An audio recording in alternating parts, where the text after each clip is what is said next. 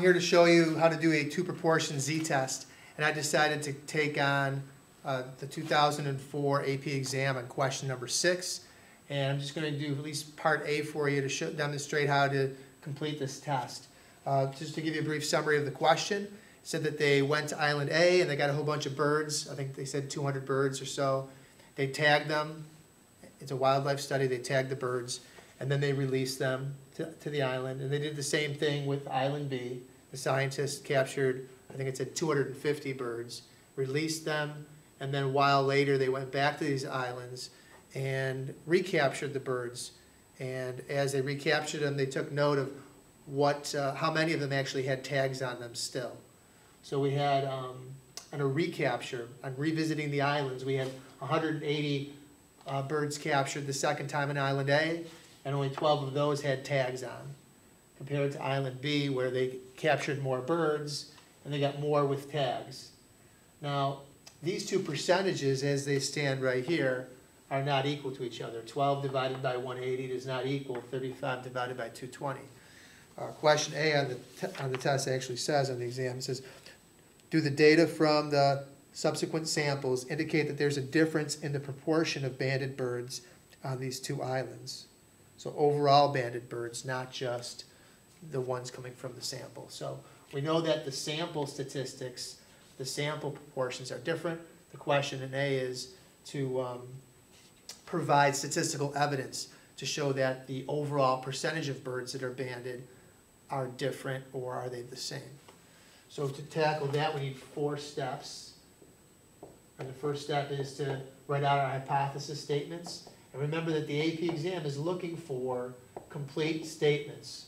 In other words, just writing that the proportions are equal to each other and the proportions are not equal to each other is not enough to get full credit. I mean, think about too, you're, you're a statistician, you want to communicate things to people who are reading your, your results and all your, of all your findings. You want to actually spell things out so people know exactly what you're talking about. So actually here, in words, you have to actually write out the proportion of tag birds on island A is equal to the proportion of tag birds on island B.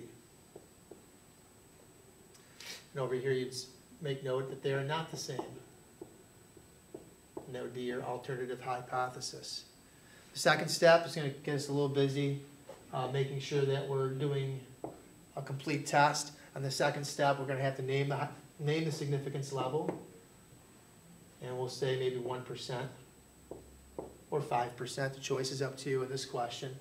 We have to name the test that we're gonna be doing and check the conditions. Well, it's a, it's a two proportion z-test, it says it on the board. We're gonna do a two proportion z-test. And by the way, it's gonna be two-sided because it's a not equals in the alternative hypothesis statement. Uh, We have to check these conditions too. Um, One reason why it's two proportion z-test is that the two collections of birds are independent from each other. So we have to make sure we include that, that they're independent samples.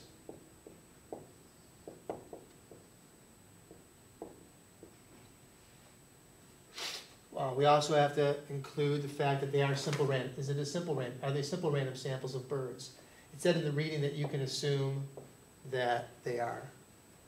Um, Also assuming that we're coming from a large population of birds, um, hundred and eighty is less than ten percent of all the birds of that variety on Island A. And also, we're, we're gonna assume that two hundred and twenty birds is less than ten percent of all birds on Island B. As long as these birds aren't going extinct, we know that we've got sample size that's small enough to begin. The last question is, this, is the sample size large enough to begin? And you can take a look at these counts here. The counts with tags and untagged are all gonna be greater than ten. And that's what we're looking for, for the last part of our, of our condition checks. So we've got a bunch of yeses all over the place here. seems like it's all systems go. Officially writing out the last thing that I said, we've got twelve tagged birds in Island A. That's greater than ten, or equal to ten, so that's a good size sample. Um, we have hundred and sixty-eight untagged, which is also greater than or equal to ten. I like using the word yes on these condition checks instead of a check mark, just makes it seem to the grader that you're actually officially saying yes, instead of just putting a little, a little check next to it. Um, and then writing out the other one too, there's thirty-five tagged. And then we have, um, hundred and eighty-five untagged. So it's okay to go on to the next step.